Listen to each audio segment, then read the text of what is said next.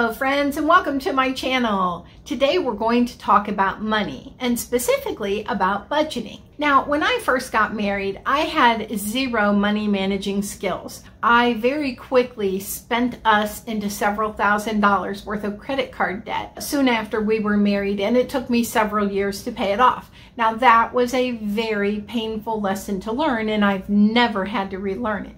So I want to share a couple of quotes with you.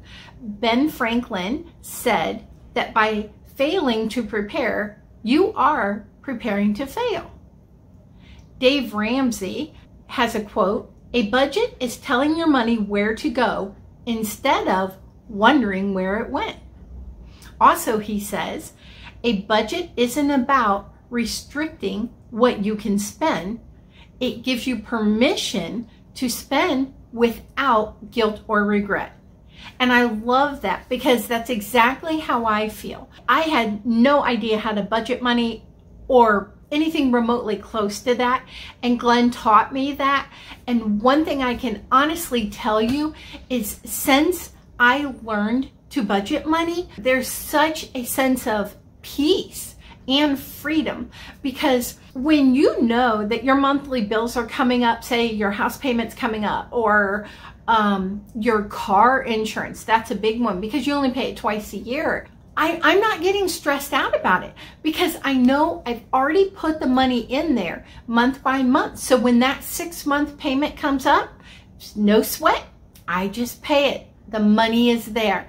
And that's the beauty of budgeting. You are not stressing about your bills. You've already put the money in there. So when it comes time to pay it, you just go ahead and pay it. There's no stress. There's no there's no drama. It's just so simple. And I highly recommend if you have not mastered budgeting your money, please try this method. It's wonderful and the peace it will bring into your life is amazing. So as I go over this budget with you. The easiest way to do this would be go ahead and stop this video and print it out. It's in the description below so that you have it there in front of you so that you can follow along.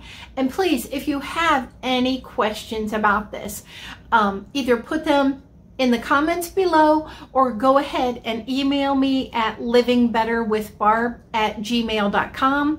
I'll be glad to answer them and help you out. I really want this to work for you. So go ahead and stop the video, then restart and we'll go on with this. Friends, if you're enjoying the content of this video, please click the like and subscribe buttons below. That really helps my channel. If you click on the notification bell also, that'll notify you each time I put out a new video.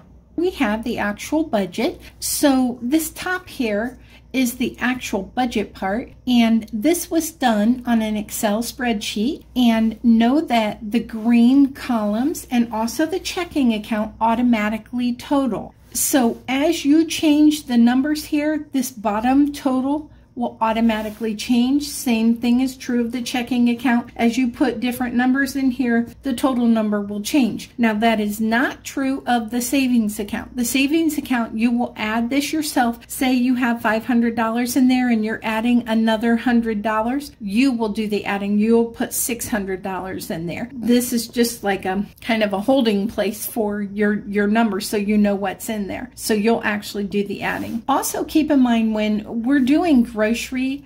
For grocery, this includes your food, your paper products, your cleaning supplies, your pet food. Anything that you buy at a grocery store is included in what we call grocery. Also, you need to know that we base this budget on two people bringing home $1,000 a week. You're going to have to adjust that to your household. You may make more, you may make less. So you're going to have to adjust that number. Also, the home insurance we based on $1,020 a year. You're going to divide, you're going to put your number in there and divide it by 12 so that you know what that number should be for each month, as well as your life and car insurance. We base that on $1,680 a year. So you'll put your number in there and then divide it by 12 and that will be your number here as well. This is we your $1,000. This is your this represents your net pay, your bring home pay. As you change these numbers around, you need this number to equal your bring home pay that week. We also have something called a flex fund. You'll see it represented down here. Your flex fund is exactly that. That's the flexible money. That's the money that's not accounted for in any particular way. Your flex fund is kind of a little bit like an emergency fund. You want to get that up to a $1,000 as soon as possible. Your goal is to get it up to $3,000. That way, what it does, it covers, like if you have a major car breakdown or any car breakdown, if you have your refrigerator breaks down, your washer, your dryer, all these things in life, you know, things break down. Well, you're going to have that covered because you have that flex fund and you're not going to panic. There's not going to be any drama. You just know You've planned, you've prepared because you know life throws things at you. You've prepared for it, you're not stressed out, and that flex fund gives you so much peace because you it allows you to take care of things without being stressed out. Say you need four new tires on your vehicle, no problem. You've got it covered. So you want to build that up as soon as possible. Hit that $1,000, then 2000 then 3000 From that point on, any extra money can go into your savings account, but you really want to get that build up as soon as possible. Also, as you figure out where to put your bills, you're going to put them at least one week, possibly two, depending on how you do it, but you want them at least one week before they're due. So any bills that you have due at the end of the month, you want to make sure that they're either in the third column or the second column because you want to make sure the money is there before the bill comes due. And say again, you have bills due at the first of the month. Well, you want to make sure that you've got them in your budget for either the fourth week or the third week of the month. So before the first ever hitch, you know you've got the money in there. That's really important. So the first thing you're going to do with your budget is these bills, you're going to place them strategically for when your bills come due so that you know the money is in there ahead of time. And then you're going to take your house payment, uh, rent payment, whichever it is, and you can divvy it up. Now on this budget, we have it all divided out equally. On our personal budget, we do not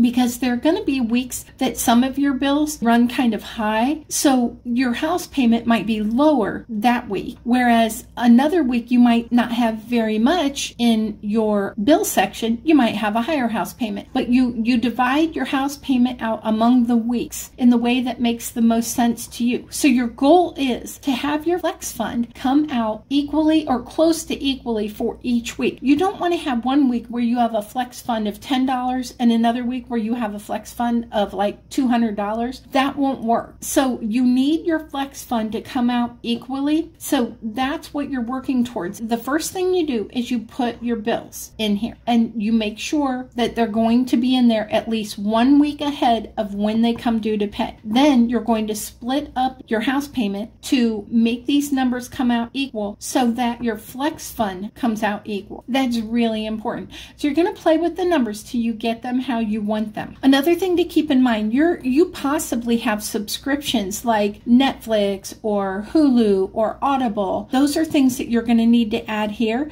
as well as maybe you see a therapist or a chiropractor on a regular basis. Those are things you're going to need to add in here and then put the amounts in here. Also, make sure you put them where they belong for when they come due. You're also going to need to add them down here as well. So what we do each week, the first thing we do is because we are Christians, we pay our tithe. That is 10% that we give back to the church, to the Lord, because it's our way of saying thank you for the many blessings that He has blessed us with. The next thing we do is we pay ourselves. We put 10% in savings. So each week we pay the Lord, we pay ourselves, and then we budget the other 80%. So you'll have your bills here and you're going to take this money and add it over here to the checking account. If you already have money in here from the previous weeks, which you will, you just simply add this onto what's already here and the total at the bottom will automatically adjust. Now your savings, you're going to have to add that. Like I said before, you're going to have to add that on yourself there. Now, say it comes time to pay a bill. It's time to pay the electric bill or the trash bill.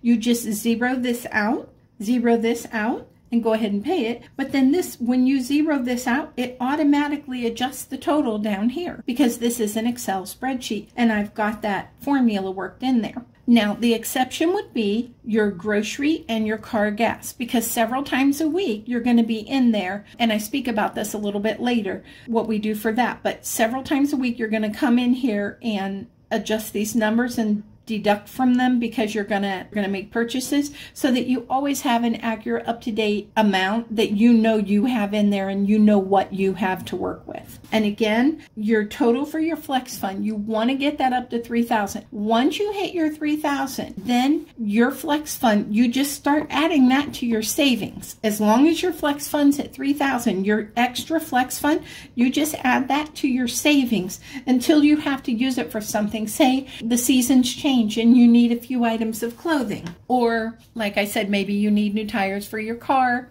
or the washer breaks down, whatever. You use the money, you then quickly replace it. But once that's at 3000 that extra money, your extra flex money just goes into your savings account. Okay, so there you go. I also did want to say, sometimes there are some people that only get paid twice a month. So for you, what you would do is just go ahead and zero out two of the middle columns, that second and fourth column, and then just label the columns week one and week two and week three three. So that third week will be a couple times a year you're going to get a third paycheck. So that's what that last column will be for. But go ahead and um, delete the columns two and four so that it doesn't get confusing for you and split your bills up between week one and week two. That'll be a lot easier for you as you move along with your budget. Okay, friends, I do want to add one more thing. Now down here you have your grocery and your car gas. And you know, you're always putting each week you're putting from here to here. You're you're adding constantly to the totals in your checking account from here.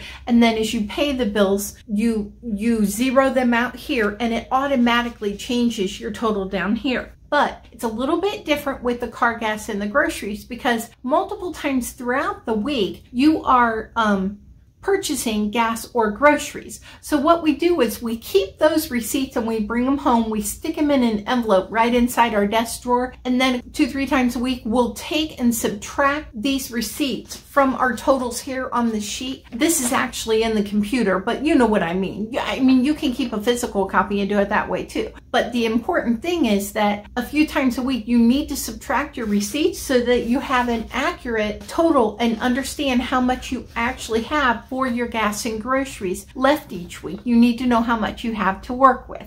So just keep that in mind. But this is a real easy way to do that. And again, we just keep this right inside our desk drawer as you walk in the door in the kitchen. So there you go. Friends, thank you so much for watching today. I really appreciate you. I hope this video was beneficial to you and it really helps you on your financial journey. I hope it alleviates the stress and anxiety you feel at bill paying time. Just knowing the fact that when it comes time for those bills to be paid, you're not stressed, you're not worried, you know you've already put the money in the bank.